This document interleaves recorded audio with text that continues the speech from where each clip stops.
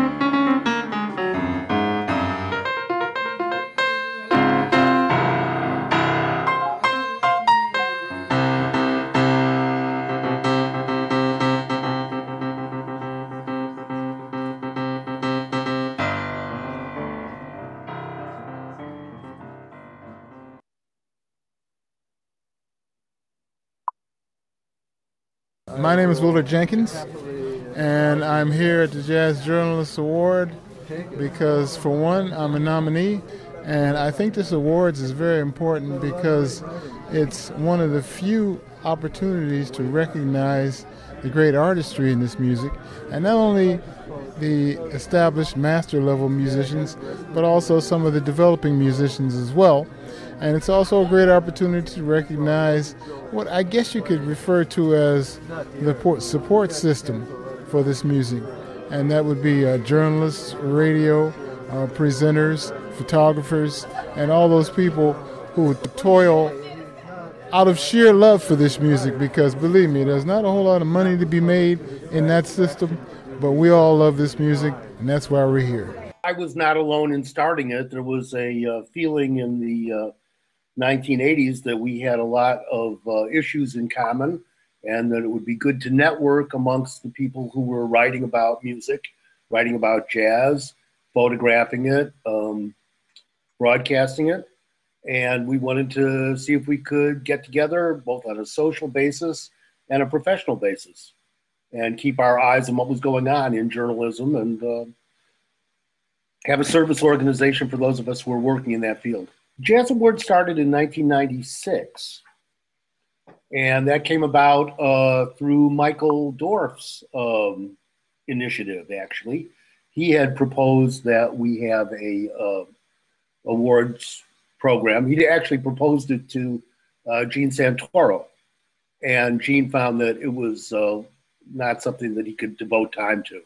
But uh, the JJA thought, yes, this is appropriate for us. This is what jazz journalists traditionally do uh, participate in polls and do things to try to raise the presence of uh, musicians in general and acknowledge excellence. So we took it on. Oh gosh, it's been everybody from the uh, people who started the uh, Jazz Foundation of America to uh, saxophone um, repairman, uh, well known in Boston, many educators, community activists who supported jazz. we used to call this the JJA's A team, for activists, advocates, altruists, aiders, and abettors of jazz. That, at that point, we were um, conferring these awards uh, on the basis of a committee of JJA members deciding who deserved them. And then we uh, decided to uh, consult with local activists in communities all over the country and urge them to uh, celebrate their heroes. We try to do it as a way for local communities to have something that they can participate in during uh, Jazz Appreciation Month and use media, learn how to use their media connections locally.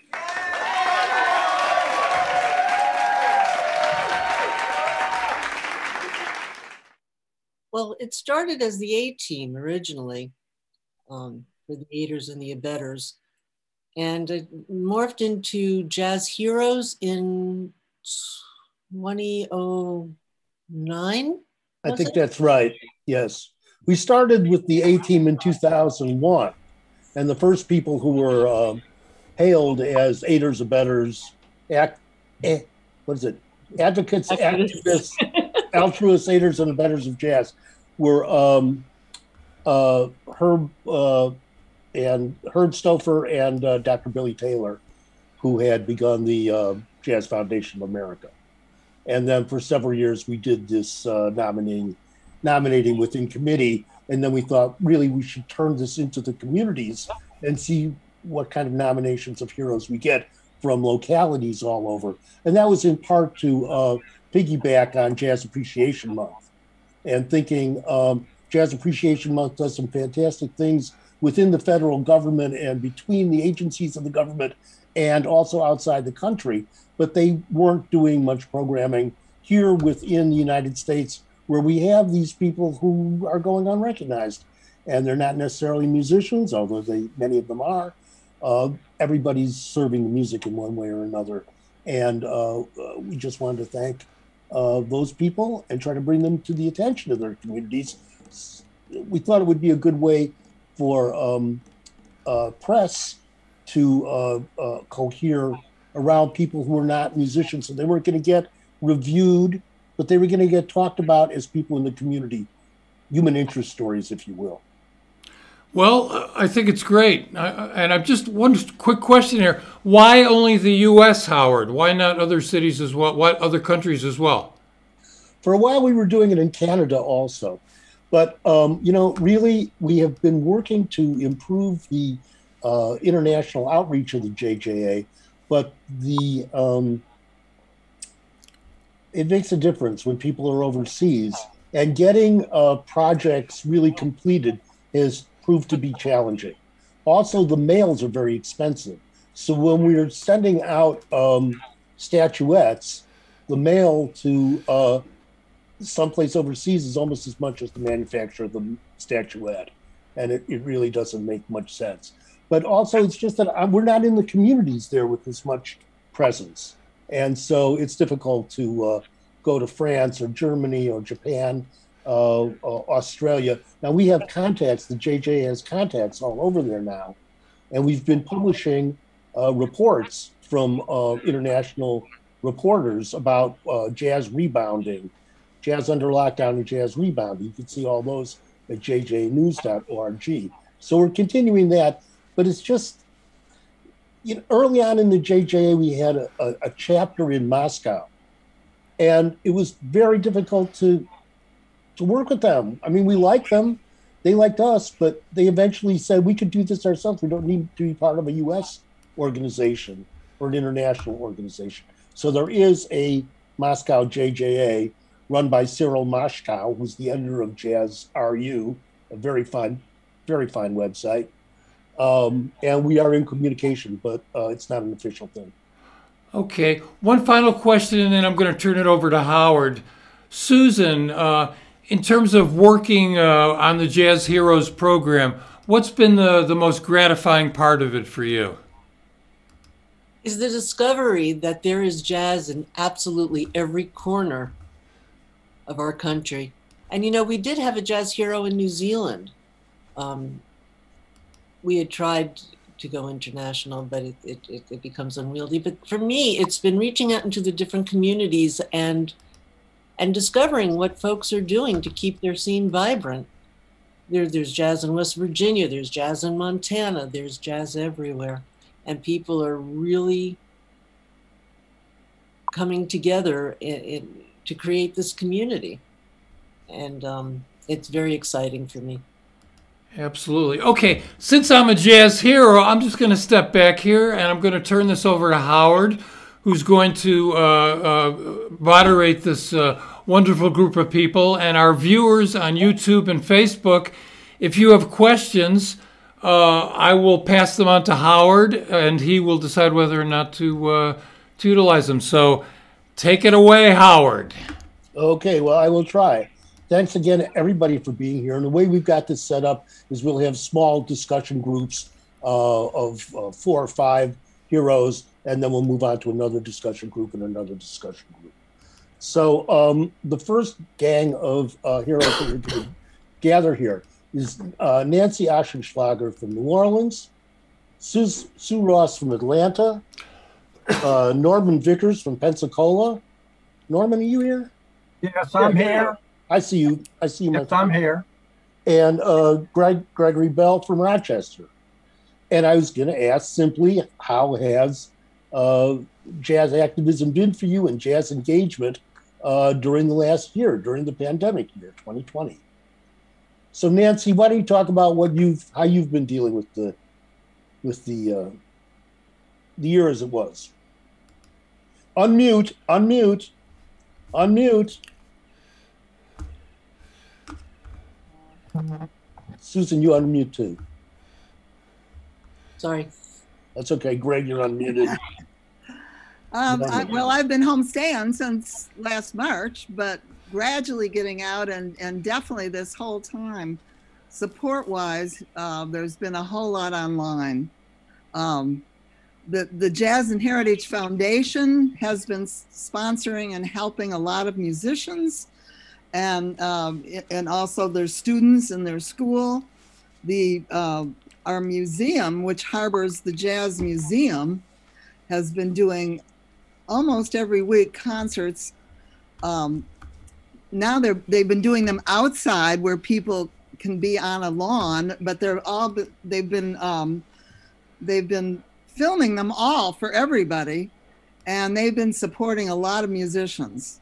So I, I think a lot of our uh, our organizations, um, as, as, as well as the Jazz and Heritage Foundation, um, and and the Preservation Hall Foundation, have been supporting jazz ongoing virtually, and the community has been supporting. A musicians clinic has been amazing with all kinds of support. Uh, this crew of red beans that we have here has been uh, doing fundraising for and a lot of meals for musicians and uh, you know the arts in need. So it's been very heartwarming. And then individuals have been doing their own Zooms, uh, and virtually they've been using tip jars. And I think our community has really supported that a lot. There are some that have been going for a year. Don Vappie's been on every day for a year you know, my friend Anise, a jazz vocalist, is every Saturday. And you know, it's it's it's been very supportive of the community, as well as the Jazz Foundation, which has really, via the jazz musician, done lots and lots of concerts virtually for musicians. Well, I want to know about what you personally have done, but first I'm going to ask. I'll get back to that. Let's ask Sue uh, what she's been up to in the last past year. Well, I've been, you know, as you know, I'm a photographer, so I've sh- been sharing a lot of my old jazz uh, photos uh, uh, on social media, on Facebook and Twitter and and uh, Instagram. So that's that's been one way of kind of revisiting where jazz was. Of course, everything you know is virtual. We're doing a lot of uh, concert, a lot of concerts virtually with folks. Uh, and um, the I'm also on the board of the Atlanta Jazz Festival, and we of course had to postpone last year because of the pandemic, and we will be we plan to be coming back shortly uh, with the the group with all the groups that were scheduled to perform last year, uh, and um, but it's been it's been an interesting year. This has been the year of Zoom and and uh, social media for for interacting with folks in the jazz field. Norman, have you also been inundated with Zoom activities? Oh, mute, unmute, unmute, unmute. Just did it, I thought. Yeah, yeah, yeah. Okay, Okay, there you go. There you know. Okay, now. Okay, now. All right. Uh, we've uh, done a lot of uh, email stuff. We uh, do a newsletter once a month. Uh, we uh, have had some uh, events already, and next month we're going to do an outdoor two day jazz festival. We missed last year, of course, but uh, we're starting a two day jazz festival. So, uh, email and uh, newsletters. Um, a number of you get these newsletters, I hope. And so that's what we're doing, and we're gradually getting back to uh, normal activity. Thank you. Greg, thank you. Greg, what's been the situation in Rochester? Uh, well, uh, I used to do a weekly post of all the quite a few live jazz gigs and restaurants and clubs around Rochester, and um, that stopped completely, of course, i- in March of last year. But uh, I continued to share. Uh, there were some artists that, uh, and groups that were doing uh, um, streams. Uh, local record store, the Bop Shop, had a uh, started a front row at the Bop Shop, which was a stream um, where they would bring in artists from out, outside of uh, Rochester, which they did before, um, and they uh, um, uh, they bring in some of the, you know, like tonight it's going to be John Irving, saxophonist, um, and uh, so they bring in some people from outside that are, and who are a little bit on the outside. Um, but I shared that through uh, um, once the shutdown and the, the blog wasn't getting as much traffic, so I I flipped to my Twitter and Facebook channels to try to um, share those uh, more widely, um, since anybody could watch them. Um, in the fall, things started to change a little bit. We started to get a few. There were some unique venues that could bring people in because they were large enough, uh, and they decided to try. Um, and those, uh, you know, so I started to get a few gigs coming in. So I started to mix those. I made a pandemic edition post that I keep at the top of the site, and I just keep updating it as I hear about things. Uh, don't always hear about everything, but and people sometimes cancel things and never tell me about them. But that's just the way, and I I tell them to call first. Um, joined a number of live streams myself. Uh, spent some money supporting Jazz, uh, the Jazz Foundation of America, and some of the fundraisers they did, uh, you know, and again shared those types of things. When I came across them, I would share them through uh, my Twitter and Facebook feeds. Okay, we're going to do just one uh, real quick uh, round through again. Nancy, has jazz helped you in the last year, or have you helped jazz more? Oh, absolutely. Jazz and music. Um, we've had an outdoor venue, and I have been there as much as I can. Uh, I haven't outreached as much in helping the community because I'm 81, and it was just recently that I felt uh, comfortable being out more. But I, I've been, I, I say I'm a connector in New Orleans, and you know, I so, know so many musicians, jazz and otherwise, that have been trying to outreach virtually and I've really been trying to in, to pass that on and support all of that. Um, WWOZ has been amazing. I support them. They're actually going to broadcast the whole Jazz Fest again virtually, And then come October, when we're really going to have a jazz fest, then I'll be involved. Okay. Sue, the same question. of You help jazz or has jazz helped you? Oh, I think both. I think both. You know, I've, I've been able to share a lot of, of photographs from the last 40 years uh, uh, with other people, but also I've, I've um, jazz has helped me get through the pandemic. And then of course we are, we're, doing a series on our, on the Atlanta Jazz Festival website, uh, atlantafestivals.com of interviews with all of the people who will be playing at our next jazz festival. And um, so that comes on every Tuesday night at 7:30, and that those interviews help us get through. The music just brings us, you know. Norman, um, unmute again. Okay, and so uh, the, the the Jazz Pensacola organization was it able to really co- uh, cohere, stay together during this time? Uh, we yes, we uh, we have have had some uh, meetings, uh, and uh, like I say, we're starting our jazz festival uh, next month, uh, two door two day outdoor jazz festival. So yeah, we've kept together with newsletters and email. And Greg, also the community there has been able to stay connected. Uh, there's yeah, there's a bunch of jazz communities here, and I've heard about some of them that have been staying connected virtually. Uh, um, we, uh, you know, a lot of them go in through Jazz 90.1, our local jazz station. Uh, um, I've got, you know, a number of people have contacted me, you know, asking about things. Uh, I kind of feel like a little bit of an imposter syndrome because I, I really, I'm amongst these great people that have done so much.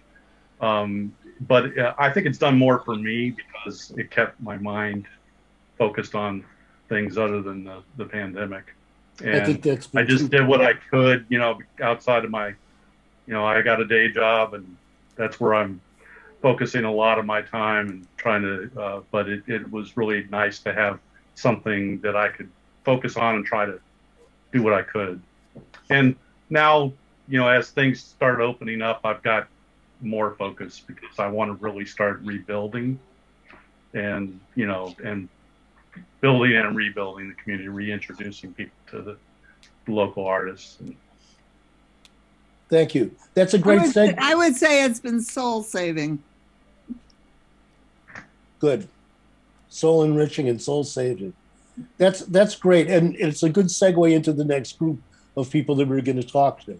So if you folks will mute, and Louise Rogers and uh, Henry Henry Wong, Louise Rogers from Washington Heights, Henry Wong from Baltimore, uh, Aaron Myers from uh, the Capitol uh, Hill Jazz Foundation in Washington D.C., soon to be our 51st state, I hope, and uh, let's see, Jose Masso uh, from Boston.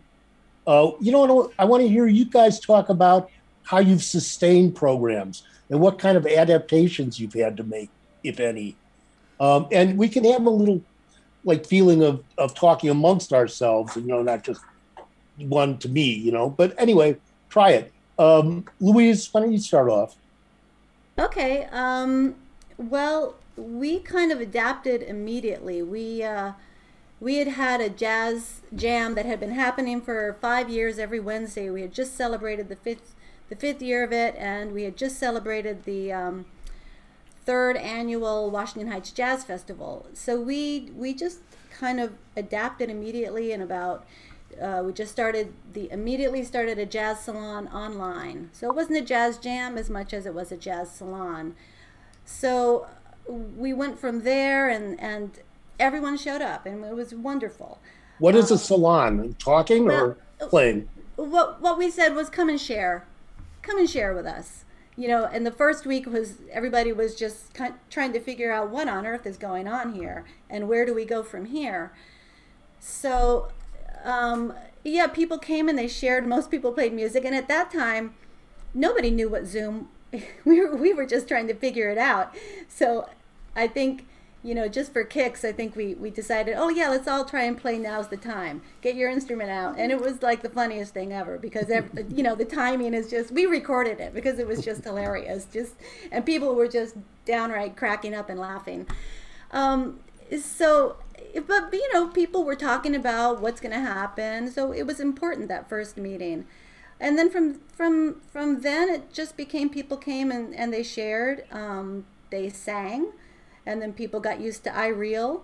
You know, people got more they got more and more used to what the new the new norm was. Um, so we did the jazz salon immediately, and then from there we went to we had a monthly vocal series that had been going on for over three years. So we we continued that, and we did self-contained. We, we went with self-contained groups for the vocal series. So we had Terry Roger and John Menegon were the first ones, and again we didn't know what we were doing with Zoom. We didn't know people had to mute. We didn't know, so the sound was crazy. But you know, we just we just felt like we had to keep going and sus- try to sustain what we had been building um, as Whoops. much as we could. Henry just walked away, and I was going to ask him to follow up on that. So, oh. um, so um, uh, let's well, go we, to. I'm sorry. Go ahead. Yeah, I mean, we we also had a, a few other things. There was a um, there was an Indian restaurant here in Washington Heights that had started having jazz, and they did that for three years, and then they they couldn't continue it, so Jazz High picked up, and you know we started doing the online jazz every Friday night for the Indian restaurant. We just tried to keep things going as much as we could to try to keep people inspired. Jose, what about you? You address a very uh, distinct uh, listenership in uh, in Boston. Without live music, uh, be able to keep the the enthusiasm going. I can, but you know what? Uh, if you don't mind, I know that Aaron has time sensitive issues. Do you sure. mind bounce to Aaron? That way, we give him enough time, and then you can come back to me. Aaron, is that all right with you? Of course. Fine. I'm sorry, Aaron. Go ahead. Um, well, f- first of all, just thank you and thank you to each and every one of you who are continue to do the work. Uh, and we do the work because we love it. And when you're talking about sustaining, um, it's a very interesting thing. In Washington, D.C., um, I think between Herb Scott and myself, and you'll hear Herb in, in uh, one of the next groups, he uh, founded and is the executive director of the Capitol Jazz Foundation, and I chair the board of directors. And we looked at sustaining and sustainability from two sectors looking at what you currently had going on, but also understanding and looking in the future. What do we need to do now to make sure that we'd be able to do anything a year from now, six months from now?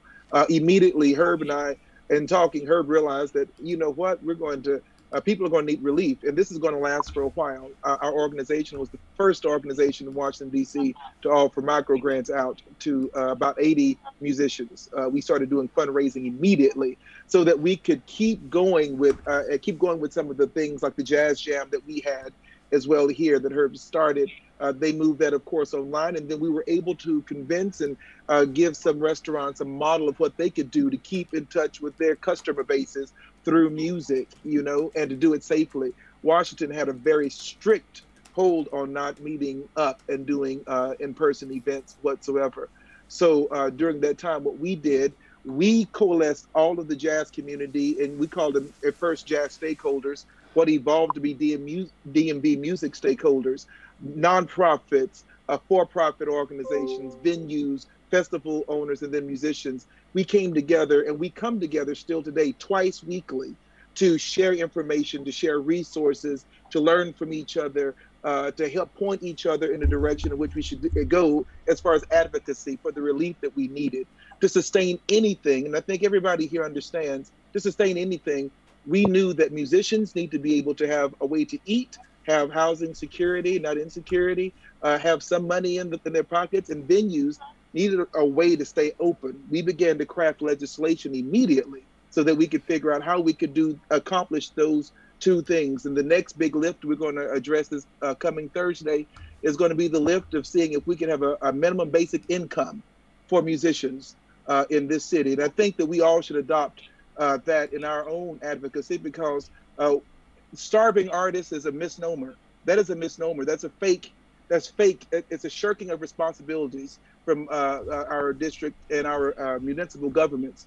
Many of us know who are advocates here that uh, we wanted to sustain so much, but when you do not have a priority of music in schools where you have teachers who don't have instruments or access to this, that, and the third, well, how can we expect them to prioritize it when it comes to unemployment or to business or infrastructure and things of that nature?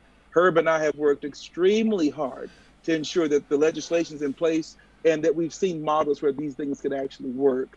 And so, uh, and lastly, I said the last thing we've been trying to sustain is the Congressional Jazz Caucus. That I hope all of you will write your Congress people and ask them to join the Congressional Jazz Caucus.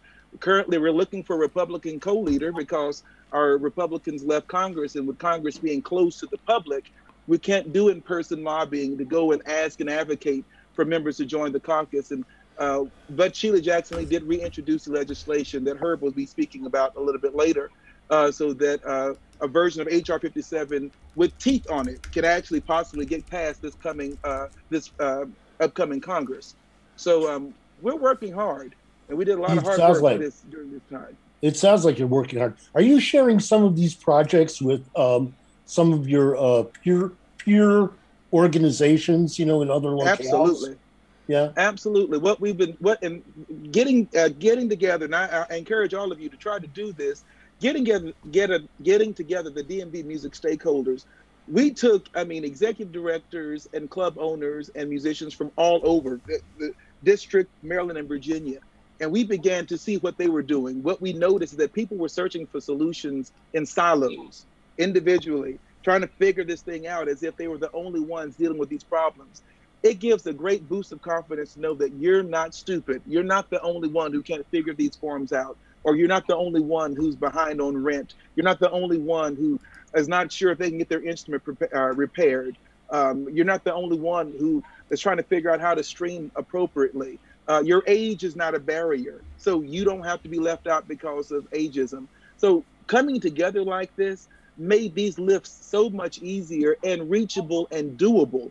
And it helped to know what other people were doing because when we got certain bits of information we could pass them on to people we knew who would value this. Likewise we were inundated with information that helped us add value to our organization. Herb has been able to maintain a lot of our programs that we've been doing uh, throughout the year only because we've been sharing information sharing the load sharing the lift and understanding that we are in this together That's and I. I think this is what I've learned more so. Sustainability means that we have got to be in this together. This is how jazz has survived.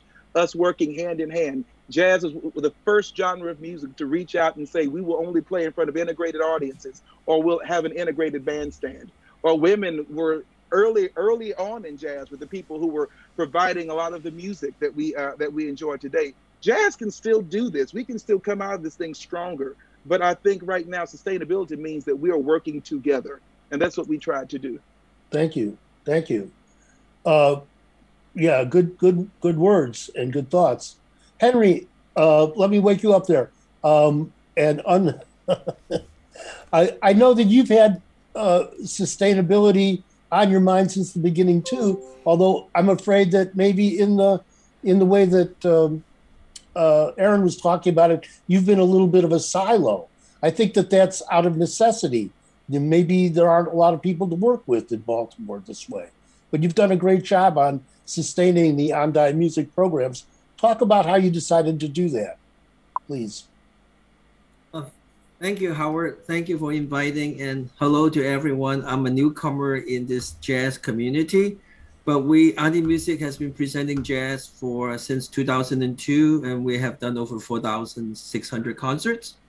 Uh, we immediately, like Luis did, um, we worked jump onto the whole thing during the pandemic, beginning of the shelter at home, uh, with our governor passed a law that nobody can go out unless you're essential workers. Uh, so what we want to do is continuously to achieve our goal to support our local musicians in Baltimore and give them a chance, the opportunity to keep performing and make a living, and also keeping our programming uh, alive. So we actually wrote a letter to the governor of Maryland to ask for approval to change our concert venue to a broadcasting center And by doing that, we are allowed to be considered as an essential uh, um, place. So we so we can continuously to program our jazz shows. So we started with once a week with like three musicians, social distancing, and um, we actually grow as we learn how to do all this stuff. We, we were able to hire some Peabody Conservatory graduate sound engineering student to assist us during the whole program. And um, so we buy equipments, you know, along the way by saving the money from the ticket sales that we have uh, uh, we make, and we were able to also ask for donations to support the musicians. So, um, so we have done over 240 shows since March 20th of last year. Amazing. Amazing. Uh, and talk about the audience that you've been able to reach that way. Well, since it's live streaming is so new for us, so we have to figure out a way to make people pay uh, to to watch the show because since everything was available free on Facebook and on YouTube, so we we decided that we're gonna make a difference. That we're gonna start charging people a minimal of five dollars ticket fee, and asking them to make donations. Uh, so we are quite successful in that area. We, we have a lot of donations and a lot of repeat donations. So as time goes on, we increase our ticket prices from $5 to 7 and now it's 10 And then we also have been adding to $15. And, you know, the response is pretty good. The musicians, you know, they do get paid. Uh, majority of the ticket sales goes to them and you know in a way that some think more they actually have a regular jazz club. So i, I think the uh, publicity promotion is a, is essential and you have to continuously reminding the public that there is a concert going on. And we also make our uh, accessibility a lot easier by by allowing ticket sales to continuing during the concert so people can continue to buy tickets anytime during the concert and afterwards so they can still tune in. And we also allow the link to to to last for one week. Most of the venues they usually do it for one day two days or three days.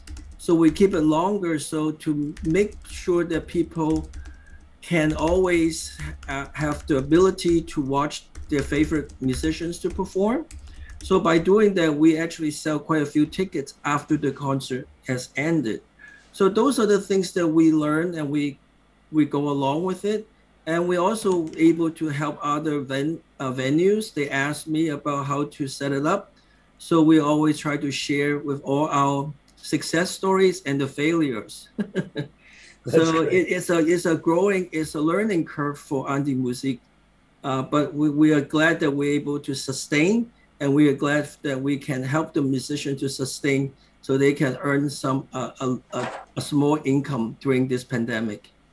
Well, that that issue about um, you know actually making this sustainable by charging uh, for live streaming and this sort of thing is a very key uh, uh issue, and I think uh, some of the other people will be talking about that as we go on. Thank you, Henry. And Thank now, you. Jose, let me let me get back to you. So you haven't had a venue except you've got the airwaves. How, I do. How sustaining and, stuff. Thank you, Howard. And first, let me start off by thanking you again and Brett for making this possible. I am honored to be part of this august group of heroes. It's really humbling to see so many great people in one place at one time.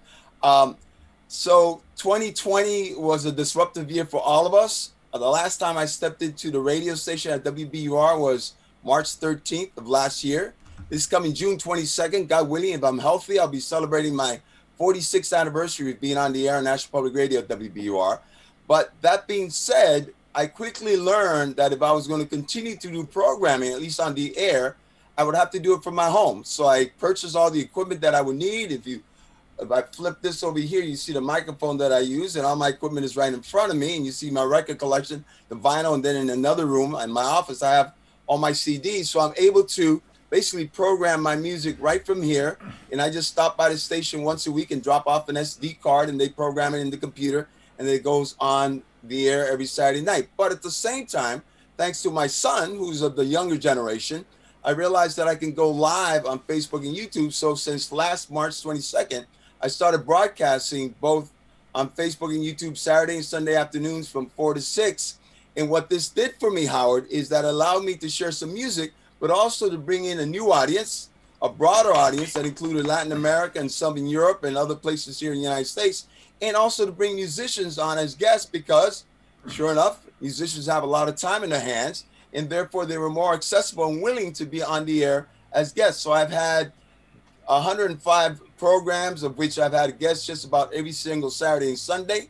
And not only have we had musicians, we've had topics such as, you know, Dr. Chris Washburne's latest book, Latin Jazz, The Other Jazz, where we had a roundtable discussion on two different sessions. I invited Bobby Sanabria, musician and educator who has a show on WBGO, uh, Ray Vega, musician, educator who has a show in Vermont, um, Sammy Figueroa, who's also another musician and has a program you know, on WKDN uh, in, NDA in um, in Miami, Arturo Gomez from uh, Colorado, and we had a conversation for two hours about jazz Latin jazz and the issues with regards to that. And I had other musicians and artists who have joined me to talk about a number of things. But most importantly, I think, piggybacking on the two conversations you just had, was I think we have found that if anything, 2020 for me and others has made us aware of is how important this ecosystem that we are part of has to be in place in order to support each other,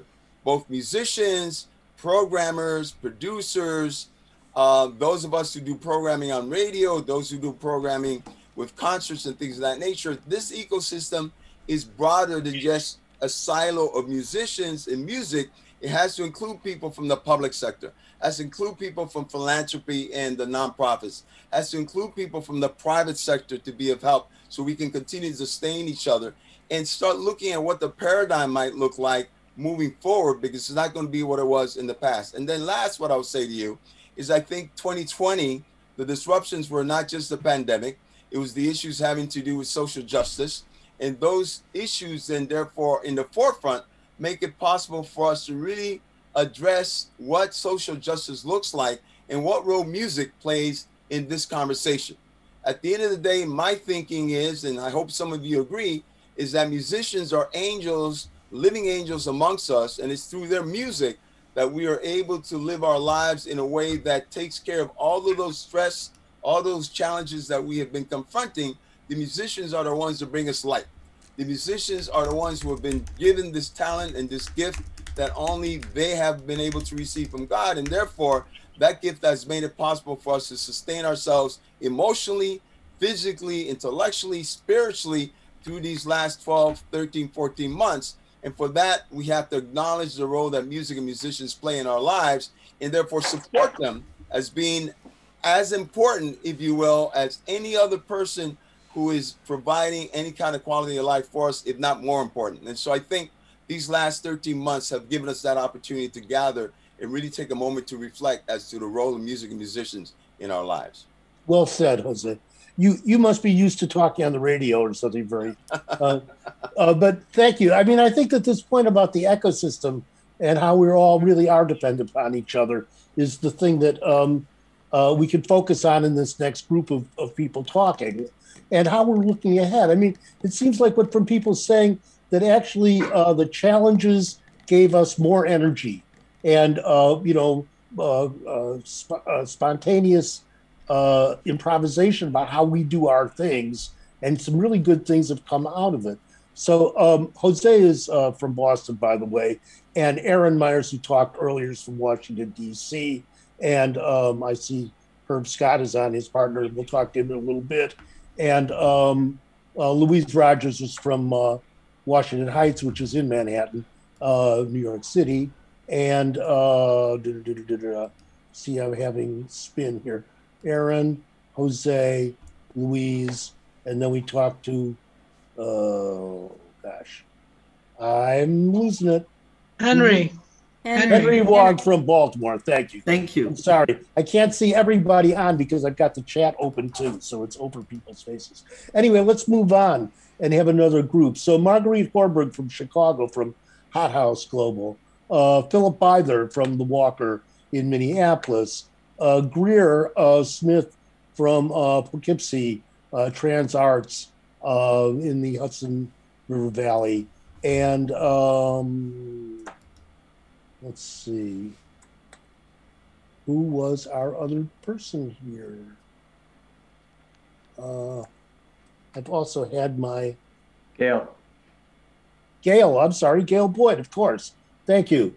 So let's talk a little bit about um, uh, how how you've seen things going forward. What kind of changes you've perceived uh, along the lines of what we were just talking about, this ecosystem and the the interactivity, and also the attention to the social justice issues. Have those made a difference? How have they made a difference? How are we going to be presenting music going forward? Please, uh, Marguerite, you begin. Thanks, thank you, and thanks for the award. It's great to meet everybody and listen to everybody's work. Um, kind of picking picking up where Jose left off. You know, our focus has been at the intersection of social justice and and music for a very long time. And not only are we confronted by the pandemic and the legacy and hangover of Trump, but in Chicago uh, today, we're also uh, mourning the, the death of Adam Toledo, a 13 year old young, uh, young boy. Um, so, you know, the, the work that we try to do is to connect activism and the communities that are fighting around different different issues with um, at the same time creating a platform for the artists to uh, vocalize and, and give expression to their to their work. And so some of the highlights that we've uh, we created a, a new um, streaming platform last year hot house global. And the first uh, set of programs we did were really repudiating the myth that Trump was rolling out at the time about the Asian uh, pandemic uh, connections. And so we we created a series of Asian uh, improvised music concerts that Tatsu Aoki uh, organized that had artists from uh, Taiwan and Seoul, Korea, and live from Japan and so that was kind of the first set of things that we did. And because we're also very interested in ending the blockade of Cuba, we got very involved with the Cuban uh, Minister of Culture and the Cuban Minister of Music. And we were able to create a pretty phenomenal concert last July, the Concert for Cuba, which called for the end of the blockade and to recognize the Cuban medical doctors. And in December, uh, Hot House in Chicago created a platform that connected to the Havana Jazz Festival. And so we were able to kind of trade fours with four ensembles um, coming out of Cuba with uh, Chicago improvised musicians that have been long affiliated with the AACM. So, um, you know, that's, you know, the success, I think other people have talked about this, but, uh, you know, really, I think the, the benefits, the pluses have been to work internationally. That's, to me, the biggest, the biggest boon is to, to have voices that uh, aren't physically traveling, but can, you know, um, have their their expression uh, remotely. And um, we're committed to doing this long, long term. So all the presenters we've talked to around the country and all the other folks kind of see a hybrid model uh, lasting for forever, basically. And and even live presenters will probably have some component of of virtual um, broadcasting. So we're trying to um, technically improve, uh, learn more tricks because I think you know as as presenters you have to kind of up your game, and um, and so we're interested in the telematic part of it. And uh, anyway, that's well, me, what we're doing. That's great. But let, let's move over to Philip then, because I, Phil, I, I don't think you've been doing any uh, live streaming, have you, from the Walker? Um, we just, we chose early on not to live stream, but instead to create digital productions, um, and it's mostly been in the realm of contemporary dance and poetry and, and theater. Um, but what we did do um, as soon as the pandemic hit is we finished the work as on the museum side of what the Walker is as a contemporary art center of delving into our archives and creating an online publication called Creative Black Music Selections from the Walker's Archives, which we dug out these incredible troves of material, video, um, and audio um, things that had never seen the light of day from Anthony Braxton to Cecil Taylor to Ornette Coleman to to um, a whole host of artists and commissioned new essays from younger uh, younger um, um, jazz artists and paid people to reflect and write about um, this era uh, of music. But also at the same time, we committed to a couple of additional commissions, uh, artists that we knew needed time to make things um, that they could do on their own, uh, that we would show when we could get back to live performance. So we did a large uh, commission with Cecile McLorin Salvant because she wanted to focus on her visual art side of things and she could do it during the pandemic. Um, we also, um, as an institution, took a chunk, a small uh, but pretty okay chunk of the acquisition budget at the Walker for, for new art and redirected it to 10 local smaller organizations to, re, to give grants to artists in the Twin Cities. Um, a handful were musicians just to sustain people. Um, and we didn't have to be the deciders on that. Um, and we're, uh, I was frustrated, of course, like all of us, about not being able to put on, bring audiences and artists together in real time. So we stayed committed to a couple of projects um, that we had planned, you know, the last year, and we just decided we're producing them outdoors for free. We're not going to worry about the revenue. So this summer, we're, we're starting a brand new avant jazz in the garden on the hillside that normally can hold 10,000 people, but carefully um, structured so 500 people get to see a whole generation of young, younger jazz artists. And we think it's important to sort of foreground to people um, the fact that jazz is a current, evolving, critical, vital form that's part of contemporary discourse and contemporary art, contemporary culture. And that's been a, a key part of my time at the Walker. Um, and we, we plan to do that um, forever. So I think we all applaud that, right? Um, yeah, we all like that. Um, so Greer, your major public uh, programming, of course, is the Greer from Poughkeepsie in the Hudson Valley, uh, Hudson River Valley, is the festival, and that was suspended. What about the education programs and and these sorts of things? How, how have you uh, sustained your ecosystem there? We chose to focus this this time on keeping our audience. Um, and also making sure that the artists that have been good to us, uh, who always show up when we need them, made sure that they had uh, some revenue. So um, since school was out, um, we decided to do a digital production because they were they're still working out the bugs and the lag time with all of these live streams and everybody is doing them. We're in a, a kind of a a significant place because we're right outside of New York City, yet we're not in it. And so folks get exposed to a lot of stuff, but there's a huge portion of the community that is definitely underserved. We have bands and schools here that have no children of color in them. So we have a tremendous responsibility of bringing the folks that we bring here, bringing them consistently and um, showing that what this, this music is. I said to um, to Gail the other day when somebody says, Miss Smith, that's jazz. I didn't know that was jazz. I like that, that we know, we know, we know what we're doing.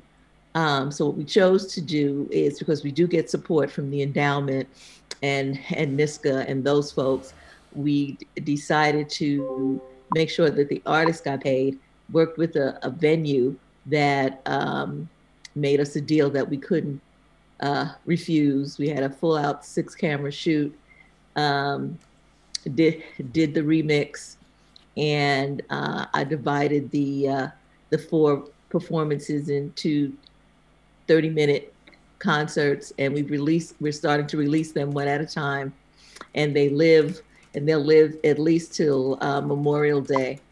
on the website, but we're using that to keep the audience going. We, we have an ongoing di- dialogue with the audience that way.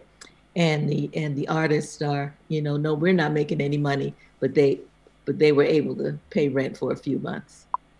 So Gail Boyd, you're with alternative uh, uh, venues for jazz, and also uh, th- that's really helped to bring some of these diverse uh, presenters and musicians and, and people from all through the industry together. And also the Jazz Coalition uh, turned very quickly to trying to do regranting and and raise funds for musicians. So, what do you see going forward from all this, though? And speaking to uh, what Greer has done to try to uh, keep the audience and those favored musicians engaged, and what Philip's seeing uh, about keeping the music going that way, and Marguerite talking about the social justice issues. I mean, is this, you know, inflating the uh, whole jazz uh, challenge? Like for everybody who's involved, do we have to take all these things into account? How, how do you see that? I think we have to take all those things into account and even more. Um, but let me say that um, I want to thank you and Susan Brink for having me part of this body of people that I'm looking at. I am honored and I'm humbled.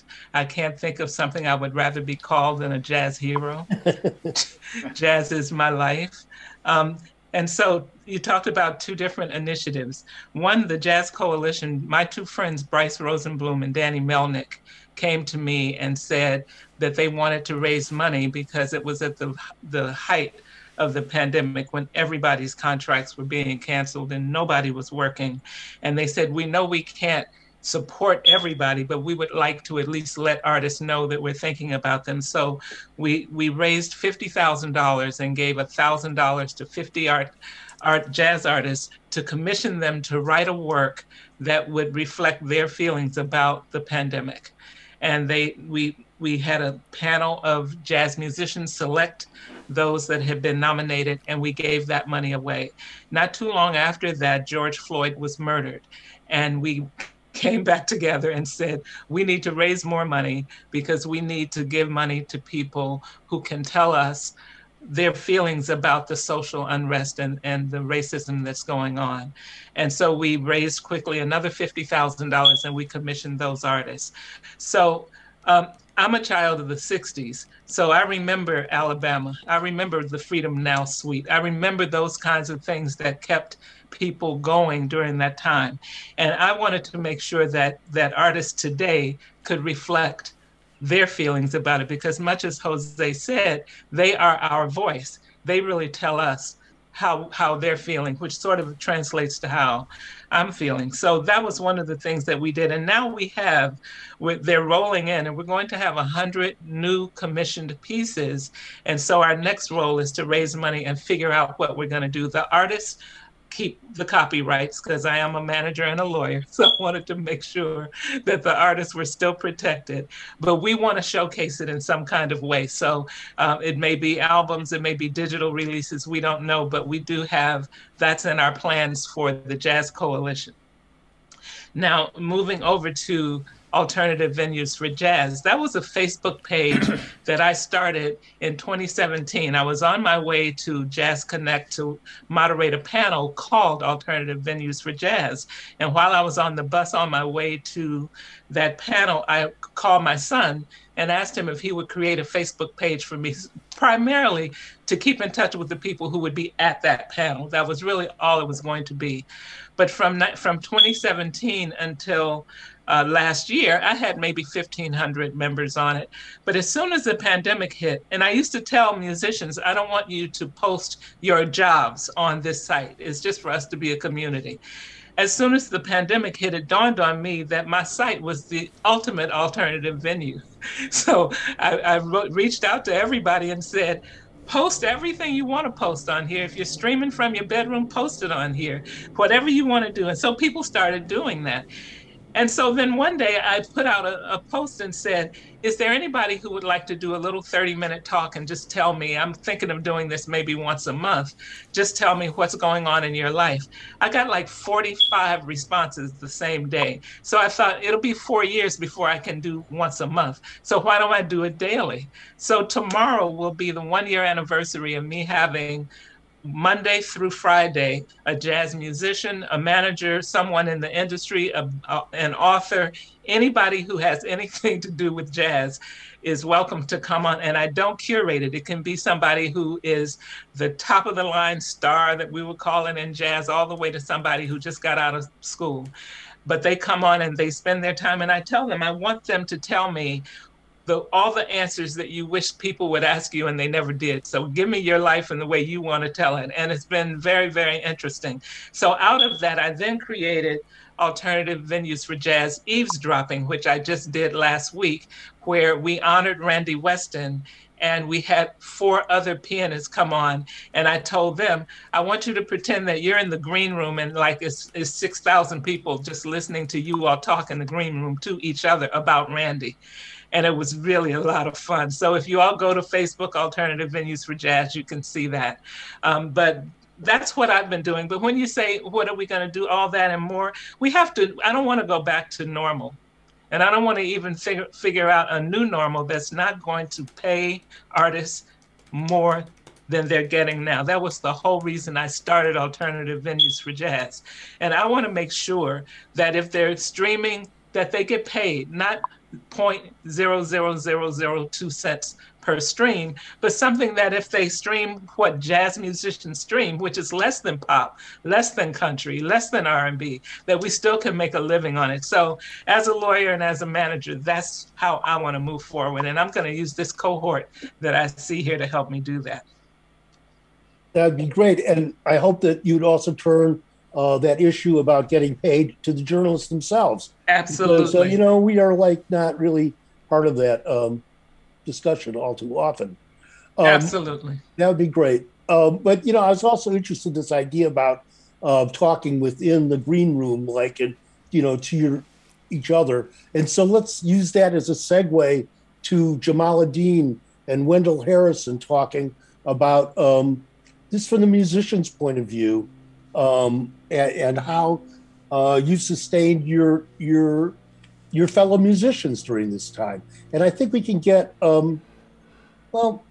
Uh, let's juggle this around a little bit because I don't see Dwight Cribble here, and he was going to be part of this panel. So maybe Randy, you would join this discussion too, because you're very much within the uh, the musicians talking to musicians. That's something that I know sustains you too, and that, that was part of Wendell your your impetus back in the 70s. So the 70s.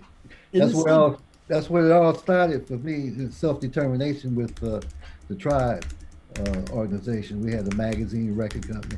Well, I'm honored to be here with. The, I'm in good company today. Thank you. Thank you. I, feel, I feel like a, a, this is like a, a comrade uh, uh event. You know, uh, yes. we all in the game together, and uh, I started out with Tribe, uh, self determination, and uh, we had musicians that invested in themselves, uh, producing. They had their own publishing, and uh, they had their own uh, managing uh, team. And we launched a record company, and we also had a, a magazine called Tribe, which is dealing with social economics and, and political concepts, political events that was happening uh, at, uh, in the 70s. And uh, it's, it's taken us, it's still alive today. Uh, uh, we just had a reissue of seven, seven uh, LPs that just came out last month from the 70s. They were remastered and they came out.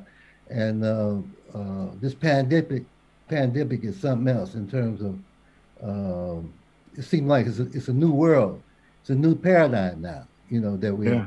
that we deal with, you know, and we uh, adjusting. But it's very encouraging to me, you know, because I can reach people uh, pretty easily now with this uh, new technology. And um, uh, what we've been doing lately uh, is, is, dealing with uh, uh, streaming in the schools and whatnot, dealing with uh, uh, jazz education. I, I just did a, uh, streaming this morning uh, dealing with uh, uh, discovering African rhythms in, in jazz. And we talk about uh, the rhythms that was that influenced jazz from West Africa, Congo, as, as well as Angola, Mozambique. You know, that was transferred to Central America through the African slave trade. You know, the queso beat, for instance, went into the calypso and and, and uh, reggae. You know, which uh, uh, was uh, diaspora in the Caribbean. You know, African diaspora. Mhm, But that so this the streaming in the schools uh, has been our forte since since uh, the, the pandemic started.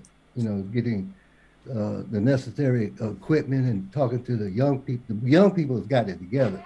You know, next year I'll be eight, uh, 80, 80 years old. So so uh, uh, it's like I'm on a new planet now.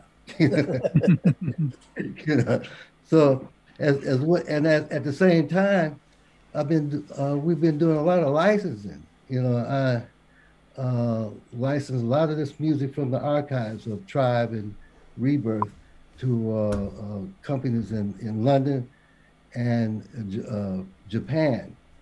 Uh, Japan just uh, licensed the Tribe magazine of 40 years. It's going Wow. to be reissued in Japan. Wow. Through, through P-Vine. P-Vine. Wow. you know, and they, they really have a, a interest in, in uh, uh, uh, uh, uh, jazz and black music and black culture, you know, in Japan. And uh, uh, so we, I have about 10 companies that I license this music to, you know, uh, uh, three in the UK, uh, Belgium, uh, Munich, Germany. You remember uh, Enja Records in Germany. Uh, Are there younger members of the tribe coming onto you? Yes, I want to talk about this new. This Briefly, new- briefly, we got to move. It's, it's new. It's new. it's Sorry. New, it's new uh, uh, uh, uh, uh, interest. You know, uh, the ages is like from 20 to, to 30. You know? And uh, we're doing a lot of school projects at the beginning. We haven't been working live. They've been coming to my studio and writing and rehearsing and recording. And we get we're doing a my first event will be May May, May 7th and 8th at a place called Cri- uh, Cliff Bell's. Uh, uh, that's a club in downtown Detroit. Okay, great. Al- Also, we uh, been streaming with the Afro American Museum. They've been uh, uh, uh, recording us and, and uh, presenting us on the, uh, as, as well as Detroit Institute of Arts. In fact, the Detroit Institute, I, I was able to pay, play with a group from Bosnia dealing with jazz and and uh, a lot of interesting uh, uh, odd meters. In real time or uh, on virtually? Uh, real time. You know, but, but streaming, streaming, Streaming, virtual- yeah. Amazing. And this is going to like it's going to Bosnia. It went to uh, uh, Paris, in in uh, Australia, as well as uh, Wow. through uh, DET radio, public radio. Well, know. we'll we will have to look for this material. That Yeah. sounds like great stuff. Um, uh, as a musician, I'm, I'm, I'm, I'm, I feel pretty uh, comfortable. You know, uh, I don't have to leave my home so much. everything is right here.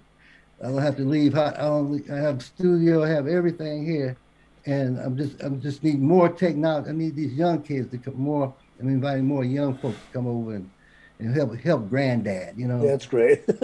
help Jamal.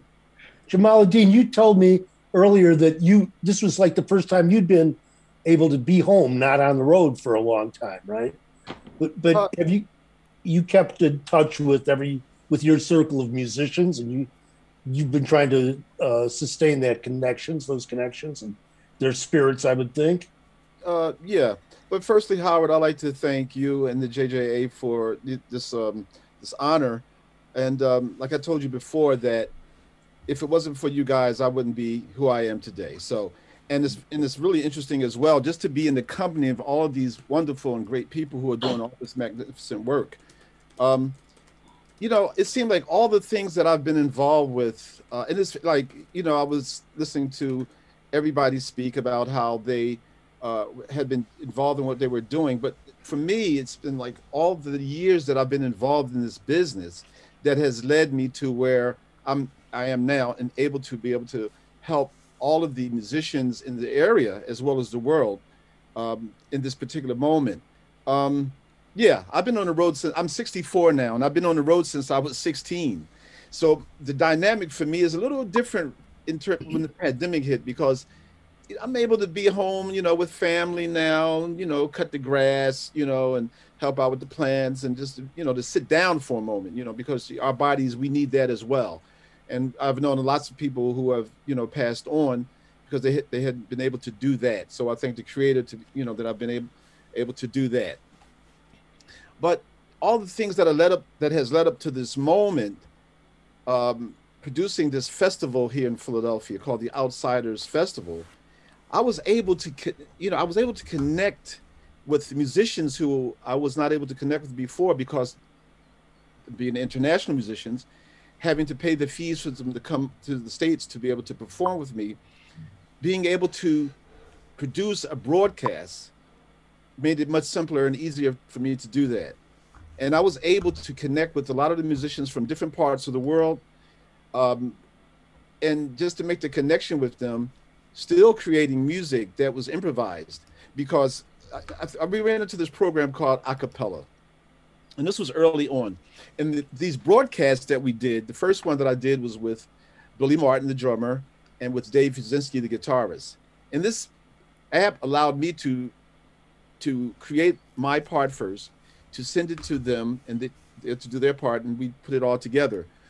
And at that moment, at those moments, I was able to, as a producer, form something that I was very happy and honored to present to people who were at home, who were not able to come out and see live concerts. You know, I was able to put together uh, uh, performances of musicians who weren't able to uh, to come out themselves to be to perform, and doing that with them allowed me to be able to understand technology, uh, to be able to understand how to connect with um, forms of, of, of, music that I was not able to do with before. Um, it's, it's a very interesting uh, world that we're living in right now. But, you know, the, I'm a product of the 80s, you know, being with Ornette Coleman, learning with Ornette how to be independent. Right now, it's it's it's it's it's allowing that knowledge has allowed me to be able to connect with the younger musicians, explain to them how they can maneuver and navigate through this situation right now. Um, it's also a situation where you, one has to think about how they're going to put together their, their like we were talking about their eco situation, their, their economics, because the, the economics play a, a, a pretty big role in their survival. So I have conversations with musicians. I stay in contact with them. I reach out to them, you know, making sure that they're still fine. Um, you know, workshops. I've been I've been invited to do workshops during this time. Um, and in those workshops, I explain to the musicians how they can navigate through this time, through this period. So all of those things have been really good, and all the information that all the other uh, honors honorees have been been able to express. I'm, I'm, really happy to be able to hear that, and I hope we can all get together and, and work on something together at one at some point. That yeah. might that might be really great. I see if we can make the JJ part of uh, facilitating that. Randy, you your your um, studio, he- Heavywood, right? Right. Uh, so you use this as a sort of a focal point, it seems like, for bringing people together and sustaining uh, the local musicians. So, talk a little bit about that. Sure. Yeah, I felt very fortunate to have this space, which I never knew this was all going to. Nobody knew this was all, all going to happen. But it's a long building with numerous entry points where we could be in isolation booths and play with entrances and exits. I did some remodeling, we did some construction. So we have four separate ways to get in and out of these different rooms, and we have six different ISO booths. So I just had to get the technology to do the video aspect if I wanted to um, stream it. But I already, as a studio, had the headphones and that other equipment. So I, I got a, a device called the Sling um, Sling box. It's a, it's a, not the thing that you. Uh, it's called the Sling Studio, I think. And um, and so we got multicam and we do all that stuff, and people feel comfortable. We're super careful about keeping the aerosols down and putting lots of um, space between sessions. And after setting this all up, I was contacted by three different schools: Portland State, um, Portland Community College, as well as Lewis and Clark, where I teach and I started streaming their senior recitals and, and um, also local professional concerts here. So I'm a place where people can actually play in real time without any latency, thank God. And, um, and it's been a, a, great opportunity to let people play together who maybe hadn't played in months in some cases. You know, it's like I forgot what it was like to play with the ride cymbal or, you know, in real time. So, um, so yeah, I got busy with that. My wife turns out is a good videographer, and she's able to run around with, the, or walk around with this camera and get live footage. And you know, and I'm in this main room, so she's in my room, and she goes shoots through the window. And we do live streaming every Sunday. I call it Sunday at seven. Well, that's what I am generally part of, and then I also have the other streams during the week as they come up. So, uh, have there been uh, commercial uh, sessions also done uh, at the studio during this time? Commercial. Um, I, I, mean, I heard so many great things said earlier about like how do you pay the musicians, and yes, I, um, if that's what you're referring to. Yeah. Well. Um, I was saying yes and amen to. Um, I can't remember if it was Henry who was talking about like how do you monetize that and pay, and his numbers were exactly what mine were to start. I'd say please if you can contribute five bucks, this is the only way we get paid, and I keep it intimate. Like I want it to feel like it's a hit it's a jazz gig and we hit it and quit it you just see the thing and it goes away so i actually don't keep it up generally online we do this it's a live gig, if you can make it great and they pay in advance and we send them the link and if people have a problem like they oh i didn't get the link i'll i'll make sure that it's published so that they can see it but in general i want it to feel like that live gig that they used to experience only unfortunately through their laptop or you know a lot of people watch on a large screen system, which I appreciate. I was I was really thinking when I said commercial productions, whether record labels were uh, also using you during this time. Yeah, I was wondering about that word. Um, no, um, I have um, done some recording um, projects that ended up being um, right around the weekend of a live stream. So I streamed. I ended up streaming those sessions, about three of them, including George Colligan and let's see, Xiaowei Wu and there's um, somebody else. So we did a session. We might have recorded for two or three days, or you know, I recorded their project because I do engineering as well as playing. And then um, on Sunday we live streamed and we recorded it, and that may or may not actually be what they do for their final CD or whatever they decide to put it out on. But there's, I have no no stream coming in from any Blue Note. Is there a Blue Note record anymore? Uh, you know, you know. Oh yes, and in fact, they have several uh, nominations in our jazz uh, awards that just uh, been released. Yeah, so yes. Excellent. Excellent. out of it, you know. I was lucky. Right before this all hit, I was in New York at Rudy Van Gelder Studio with Charles McPherson, and I was there, and I helped produce it and I mixed it, I mastered it, I got, and then bam, everything closed down right after that, and there's been no like, it's not nearly the same since then. Hmm. Well, Portland is going to open up again, like every place else, I think. Uh, Mario, are you still here? I'm yes, yes, I'm here. Hi. Get in, uh, get in on this discussion too, please. Yes. Okay. Um, I want to start with um, what happened today, we actually, uh, I'm with Jazz in the Neighborhood. I'm a trumpet player also, but I, I must say most of my energy in the last year has been going into my organization, um, a nonprofit. Um, started in the Bay Area. In the Bay Area. In the Bay Area. Um, so today we made a presentation to uh, San Francisco supervisor, uh, a proposal which um, uh, there's been a lot of money uh, going back out in the community, and as it should be, but it's not it's not touching most of the people that we serve, uh, the jazz musicians and organizations. So um, I fe- I thought that instead of uh, just giving grants out, which we did, we did thirty thousand dollars of relief aid grant right right at the beginning of the pandemic. Um, but instead of doing that, that we would get try to get this the city to um, pay money to the venues, but with an attachment, with a with a clause in it that says this money is to be used to hire musicians and pay them. And so, um, so in other words, uh, money going out would not only get to musicians, but it would also invigorate the the neighborhood and the community. And um, it's it was received very well today. We're we're on on step two to get to the to the money people. Um, but but you know I, I I saw a lot of articles about um, the arts has to lead the way and that's going to bring tourists back and all of that which is all true um, and now I think we've tapped into a way uh, which we've been trying for eight years to get guaranteed fair wages to jazz musicians we don't allow tip jars at our gigs we um, we are always looking for funding and it, it it's not going to happen I don't believe until until there's some kind of government uh, um, regular subsidizing of the arts, um, and the, and that that money comes through and gets gets back to musicians.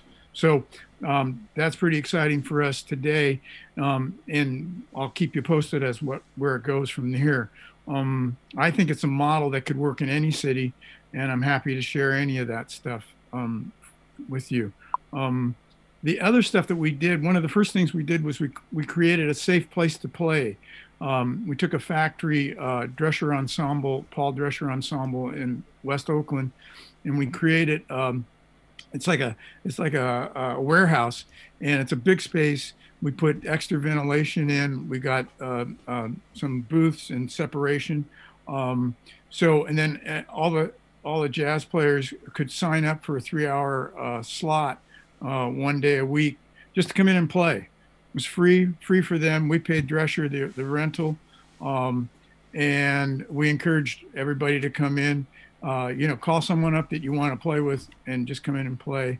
Um, and a, a, lot of people who I'm sure you all recognize uh, showed up, especially when they started getting nervous about playing with people again. Um, so they came in and, and started playing, and that's been going on weekly since the beginning of the pandemic. Um, then we created we created a, a, teaching directory, artist teaching directory. Uh, we put a minimum salary of eighty dollars an hour on it, um, and we put it out to the public so that people could pick up more more money uh, through teaching. Um, we did. Um, did you get takers for that? Did you get that? Many, did you get many takers on that? Yeah, it it it helped, and it also established uh, um, some kind of standard. Uh, we have a standard of 150 bucks uh, per musician for for gigs, and now we've established this $80 rate for teaching. Um, I think uh, you know the union's been um, been asleep since about 1980 when it comes to jazz players, or maybe before that. Uh, but anyhow, so the Independent Musicians Alliance, which is a group uh, that I formed with Eric Whittington at Bird and Beckett, who does a lot of music in the Bay Area uh, we put that together, and that's an advocacy group, and we're going to continue working stuff with that group. Um, we donated money to Angela Wellman's wonderful Oakland Public Conservatory in Oakland um, and help pay her teachers to do one-on-one uh, teaching with with their students. Um, so we kept our our hand in the emerging artist uh, category with with education. Um, so think, much great yeah. I think that's most of it. So much great work. I mean everybody. I i'm i, I want to get you know to um uh gerald uh dunn from uh, kansas city mary uh mj from montana and um who am i missing here i know there's some people uh oh yes john demetriou um and uh we'll get Herb in on this too, although doesn't exactly um, uh, match the theme that I had in mind for this. I was going to ask people whether you, Rob, uh, Gerald, uh, who are in and MJ who are in places that aren't necessarily thought of as having uh, active jazz scenes, although Kansas City has always been there. Um, oh, whether you've suffered during the pandemic from uh, having less resources or whether you've actually been able to expand your reach uh, because there's been so much online activity. Has that helped? So um, I'm sorry, maybe I'll throw that to you first, Gerald. Can you uh, respond to that? Sure. Um, Howard, thank you so much. And, and as I've heard so many other people say, that we were really thankful for being a part of such uh, an esteemed group of people.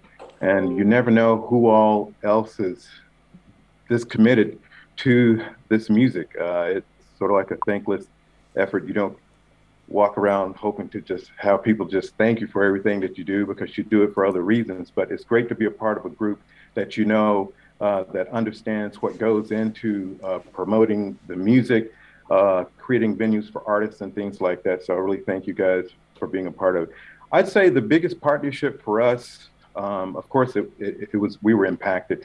The biggest partnership for us was uh, the local musicians um, who were seemed to be more inspired than anyone else. Um, I think in this, whenever you're hearing the the bad stories or the sad stories, musicians are constantly coming up with new ideas, new ways to um, um, um, sing, uh, express, and and make their voices heard.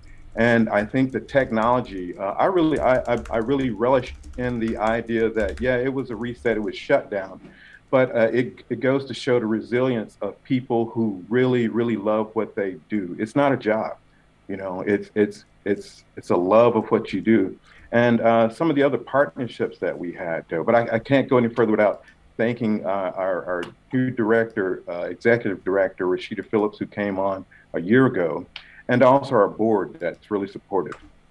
The uh, city of Kansas City um, came out uh, in support of what we were doing. There was another group called the Jazz District Renaissance Corporation um, that was headed up by uh, Congressman Cleaver he came up with a program over uh, this time period called Jamdemic, where we brought in um, artists of all genres, jazz, blues, uh, folk, uh, R&B, it, it, just all of it. And it, it, was really just to, it was like a, um, uh, how would you say, um, it was like a tribal meeting, I would say, or just when people are coming together, you get a chance to uh, uh, fuse the different styles together, different musicians working together. But in this uh, opportunity that was created, we were able to stream performances. Um, um, and I think we did over 60 shows there. Uh, we did streaming shows here at the uh, Jazz Museum as well.